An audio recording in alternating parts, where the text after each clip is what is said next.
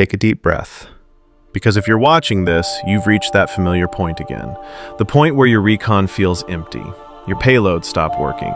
Burp Suite feels like a dead terminal.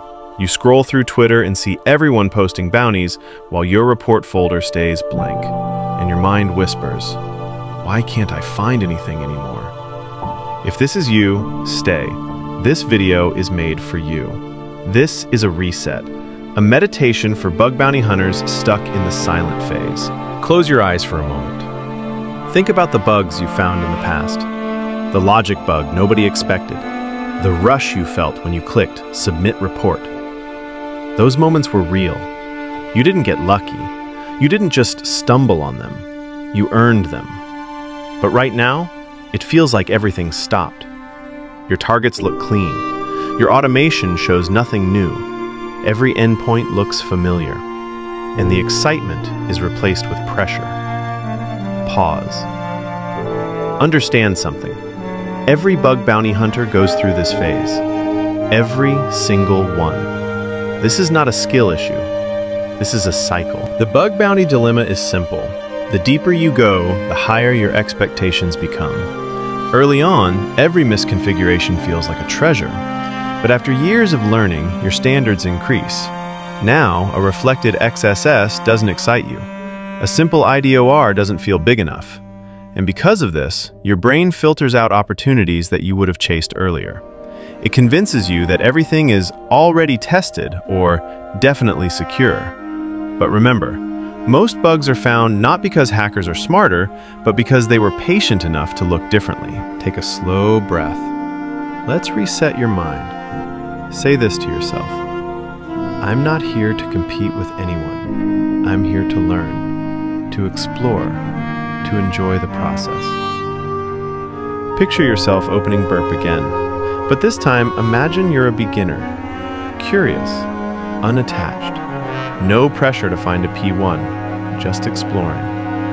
Because the truth is, your best bugs come when you aren't forcing results. They come when you're relaxed, observant, and genuinely interested in the system in front of you. This phase isn't a failure. It's your mind telling you to breathe. The silent phase usually appears for three reasons. First reason, burnout without realizing it. You've been hunting too long without breaks. Your brain stops generating creativity. You're scanning, not thinking. Second reason, over-consuming other people's success. Seeing others win every day makes you feel like you're losing. But social media only shows results, never the hundreds of hours they wasted.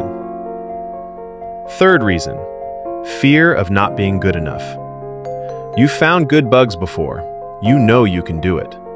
But now, you fear you've lost your spark. You haven't. You're just tired. Sit comfortably. Listen to these sentences slowly. You are still a hunter.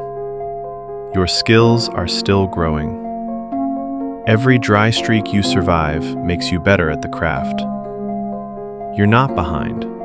You're not slow. You're not failing. Your mind is recalibrating. Your creativity is recharging. Your instincts are sharpening. This silence is not punishment, it's preparation. The next bug you find will come from this phase.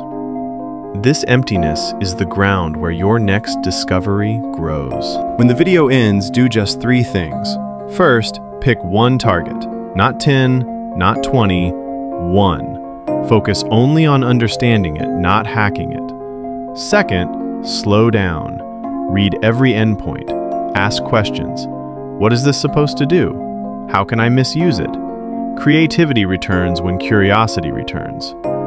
Third, take breaks. Go outside, sleep properly. You find more vulnerabilities when your mind is rested than when it's stressed. You're not losing your skills, you're not done. You're in the same place that every successful hacker has been. This is the silent chapter before the next breakthrough. When the dry streak ends, and it will, you'll look back at this moment and smile, because this is where your reset began. You're a hunter, and hunters return, always take a breath, and start again.